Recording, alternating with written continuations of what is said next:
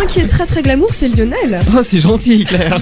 T'as vu cette belle transition Eh bien, écoute, on en avait parlé il y a quelques temps. Tu Oui. m'avais demandé de te dénicher la piscine de tes rêves. C'est vrai, je te l'avais Eh demandé. ben, je l'ai ça. trouvé. Ça se passe au Chili. Et- Au Chili, à San Alfonso del Mar. Ouais. J'ai trouvé une piscine. C'est la plus grande piscine du monde. C'est-à-dire, elle fait combien Elle fait, euh, elle fait 12 un kilomètre de long.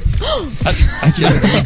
Euh, C'est pas une piscine, c'est un lac. Elle fait C'est un quoi, kilomètre de long et Si elle fait au milieu, comment tu 80, 80 000 mètres carrés de superficie. Et alors en profondeur, c'est combien? Tu peux, tu peux te noyer dedans? C'est quoi? Elle fait autant de tu- profondeur. Tu peux noyer, tu peux Un faire du bateau, tu peux une- faire de la plongée sous-marine. euh, Tu peux ranger ton publique, sous-marin dedans.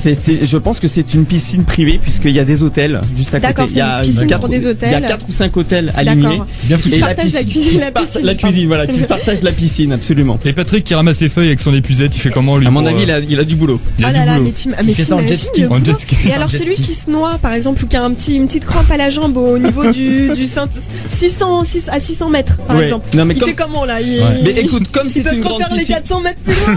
Écoute, comme c'est une grande piscine, à mon avis, il y a même une capitainerie et un service de. Un petit pont au milieu, tu crois qu'il traverse short jaune, veuillez rentrer au port, veuillez rentrer au port. Juste une, une dernière info, ça coûte quand même, ça a coûté un milliard et demi de dollars et son coût annuel est de 4 millions de Ah, dollars. tu m'étonnes. Ah, tout le monde peut s'offrir ça, cher monsieur. Au je vais, Chili, au Chili- ça dans ma, dans ma Au salle de bain. Tout le monde peut se, peut se payer ça, y a pas de souci. Bien Bah, sûr. écoute, on te fait confiance. Voilà, bien Eh écoute, sans D'un côté, il y a des gens qui, qui, qui crèvent de faim, et puis de l'autre, il y a les gens Il y a qui les gens qui dans les jouent. grandes piscines. Et il y a des gens qui jouent aussi aux jeux vidéo s'ils n'ont pas de piscine.